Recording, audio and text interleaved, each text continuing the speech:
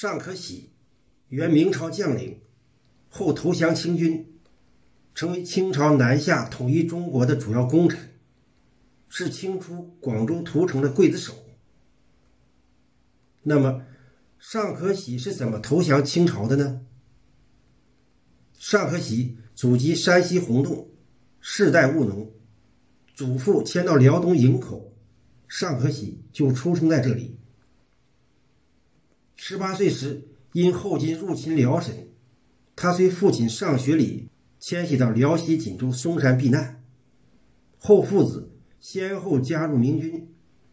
尚学礼先投辽东巡抚王化贞，后随毛文龙入皮岛。尚可喜在天禧三年（一六二三年）参加明军水师。第二年到皮岛找他爸爸，也投入了毛文龙的麾下。尚可喜父子团聚后不久，他的父亲就在与后金的作战中阵亡。毛文龙将尚学礼所部交给尚可喜统领。崇祯四年（一六三一年）十月，皮岛发生兵变，东江总兵黄龙被拘禁。正在海上值守的尚可喜闻讯后，赶回皮岛镇压了兵变。杀了兵变带头者，救下了黄龙。黄龙为表达感谢，当即提拔尚可喜为游击将军。不久后，明朝就发生了吴桥兵变，孔有德、耿仲明等占据登州，抗拒明军一年有余。崇祯六年二月，明军收复登州后，孔有德和耿仲明逃往海上。尚可喜又奉黄龙之命率舰队围堵叛军，后因评判有功，被提升为副将。同年七月，已投降后金的孔有德、耿仲明引导后金兵攻陷旅顺，黄龙兵败自杀。留在旅顺的尚可喜的妻妾及家眷数百口也全部投水而死。黄龙死后。新任东江总兵意图谋害尚可喜，尚可喜侦知后就产生了投降清军的打算。此后，尚可喜派部下前往沈阳与后金接洽。皇太极得知后兴奋之极，大呼“天助我也”。崇祯七年（一六三四年）正月初一，尚可喜借元旦开会之机，抓捕明朝将领。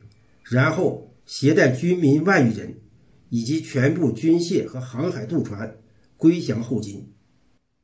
四月十日，尚可喜来到盛京，皇太极出城三十里相迎，与上年孔有德、耿仲明归降时同样待遇。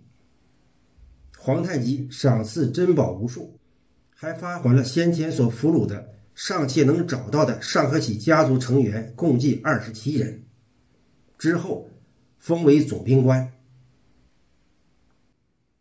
两年后的一六三六年，皇太极改国号为大清，加封孔有德为恭顺王，耿仲明为怀顺王，尚可喜为治顺王。这就是清初的满清三顺王，并将海州赐予尚可喜为封地，家眷旧部安置于此。尚可喜受到了皇太极的极高礼遇。同年十二月，尚可喜随皇太极征伐朝鲜，迫使朝鲜国王签订城下之盟。在一六四二年的松锦大战中，尚可喜跟随清军攻打松山、杏山等地，立下战功。同年，清朝设立八旗汉军，尚可喜被编入汉军镶蓝旗。崇祯十七年，清顺治元年，尚可喜等三顺王随清军入关，追剿李自成。后与吴三桂随英王阿济格沿长城而下，占领了李自成的侄子李锦守卫的延安。之后出武关，进兵湖广、江西，追击李自成残部。李自成在九宫山被杀后，尚可喜班师回京，奉命回驻海州。顺治六年，清廷改封尚可喜为平南王，赐金印、金册，与靖南王耿仲明带旧部两万多人进军广东，最后直抵广州城下，两路大军归平南王节制。顺治七年（一六五零年二月），清军一路势如破竹，直达广州。然而，南明两广总督拒绝投降。尚可喜等人围困广州长达十个月，最终于十二月攻下。据清代官方史料记载，广州屠城，斩兵民七十余万，又追剿余众至海滨，溺死者无数，史称“庚寅之劫”。康熙十二年（一六七三年）十月。六十九岁的尚可喜再次上书请求告老回辽东老家，让他的儿子尚之信镇守广东。这已是他第十一次提出告老请求了。康熙同意了他的请求，并同时下令撤出三藩。不料此时，平西王吴三桂接到三藩全撤的圣旨后，打出了兴明讨虏的旗号，起兵反清。清廷就命尚可喜留下镇守广东。